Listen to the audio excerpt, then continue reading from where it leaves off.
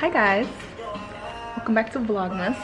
So, forgot I forgot to start my vlog earlier, but we are in Miami for Friendsmas and somebody decided to play basketball and injure himself. he almost ruined Friendsmas, but we're still here. He's okay. How you doing, Attorney Thompson? What happened? You know, I was balling out of control, per usual. and, you know, I made the wrong step and, you know, things happen. Yeah. It's okay. Look at his little booty boots. oh my goodness. So he's hopping around and we have to deal with that, but we're gonna enjoy Friendsmas. I can't wait.